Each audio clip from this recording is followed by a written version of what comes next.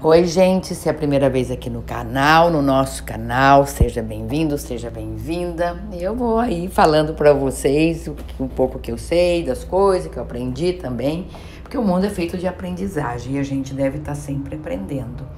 Eu já falei aqui num, num outro vídeo, né, sobre a natureza, que elas nos fornece tudo. E as cores da natureza são aquelas também que nos inspiram para os nossos looks, para os artesanatos, para as nossas pinturas. E olha aqui que lindas essas cores, né?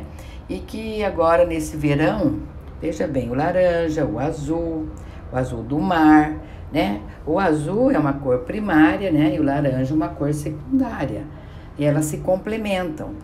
Olha como é que fica bonito os looks, né? Que está em alta agora, nesse verão também, o azul marinho, né? E o laranja. E você olhando a natureza, muitas vezes, o que te chama atenção, que você gosta, vai ficar legal nos teus looks.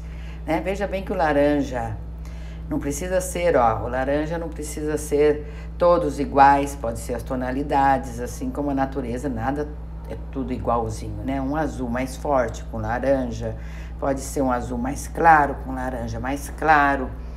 E assim vai, né? Olha o jeans como fica legal com laranja, né? Às vezes você pode pôr um vestido jeans simples, só com um tênis laranja, uma sapatilha laranja, já dá um toque, né? Olha aqui o azul turquesa com laranja, como fica bonito, né? Então, isso aqui é umas dicas aí que eu também vou aprendendo, porque tudo na vida é aprendizagem, né?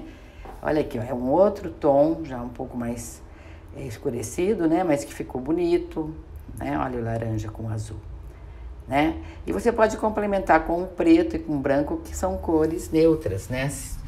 Eu acho muito legal assim, olha aqui, aqui só o brinco azul, ó, que bacana, né? E muitas vezes para você não se perder na hora de montar os looks, às vezes é ficar em três cores, né? No máximo aí, que eu acho que você corre menos, erro, menos erros, né?